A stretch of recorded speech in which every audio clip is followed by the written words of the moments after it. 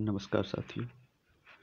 तो चलिए इस लेक्चर में हम लोग एक महत्वपूर्ण एडिटोरियल के बारे में देखें। जो अभी आखिर दिल्ली में जो प्रदूषण फैला हुआ है, उसी से संबंधित है।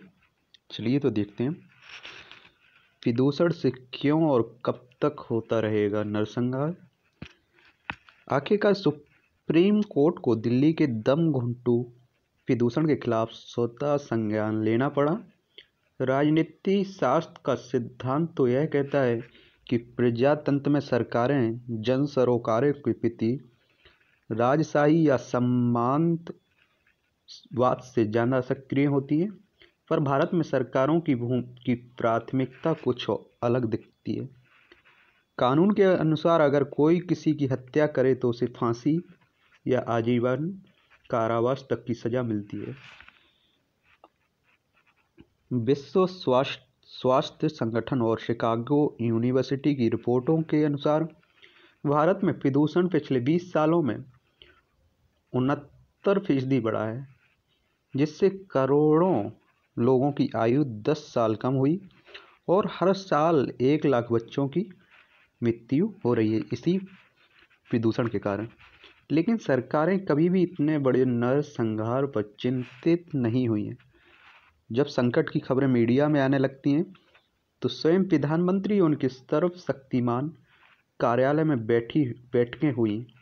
लेकिन नासा द्वारा भेजे गए आंकड़ों के अनुसार एक से छः नवंबर तक पिछले साल इसी अवधि के मुकाबले पंजाब और हरियाणा में ज़्यादा पराली जलाई गई। दरअसल सरकारी आंकड़े अब भ्रमित करते हैं।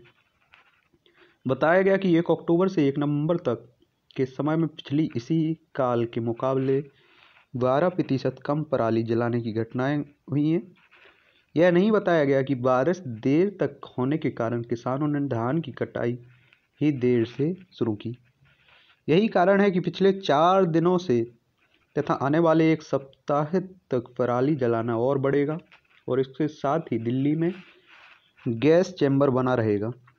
अगर किसान अपराध कर रहे हैं तो सरकार एक तरफ़ सब्सिडी देकर दूसरी तरफ़ बेहद सख्त कानून बनाकर इस समस्या को ख़त्म कर सकती है। किसान हाल के कुछ वर्षों में वोट बैंक बन गया। अगर हर साल देश की राजधानी गैस चैम्बर बन जाती है तो धीरे धीरे दबे पाँव प्रदूषण, लाखों जिंदगियाँ झील लील जाता है। तो इसकी ज़िम्मेदारी किसके ऊपर डाली जाए? मीडिया जब दिल्ली में हुए एक बलात्कार को दिखाता है तो सरकार के मंत्री आरोप लगाते हैं कि ऐसी घटनाएँ रिपोर्ट करने से देश की छवि विदेश में खराब होती है।